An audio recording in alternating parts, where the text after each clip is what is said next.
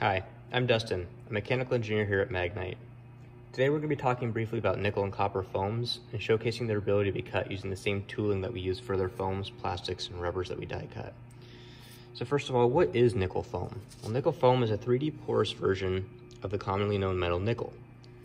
It's a popular choice for use in electrodes and energy storage devices due to its high conductivity and large pore surface area, which is obtained through the lattice type structure. Copper foam, similar to nickel foam, is a 3D porous version of copper. Uh, can also be used for electrodes and energy storage devices, as well as catalyst for some reactions. Outside of energy storage uses, copper foam also has applications in areas such as firefighting, being used as a flame retardant, medical industry, since it's non-toxic and harmless to humans, it can be used as filter media and up close within human contact. And both materials can be used as non-electrical insulators because they're analogous to how normal foams work in terms of de-amplifying the sound as they pass through the medium by getting trapped in the small little holes and voids. Now let's take a look at the manufacturability of both nickel and copper foams. As you can see, the material is extremely ductile.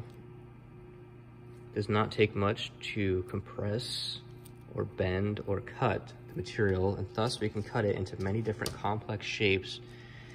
Not just these electrodes, but we could cut it into even smaller and more intricate pieces for whatever needs you may have, whether it be energy storage devices or your own custom application.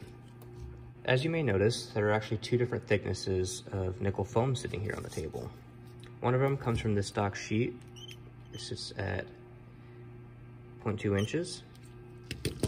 The other is actually the same sheet that's been calendered down using two steel rollers. Is now sitting at 043.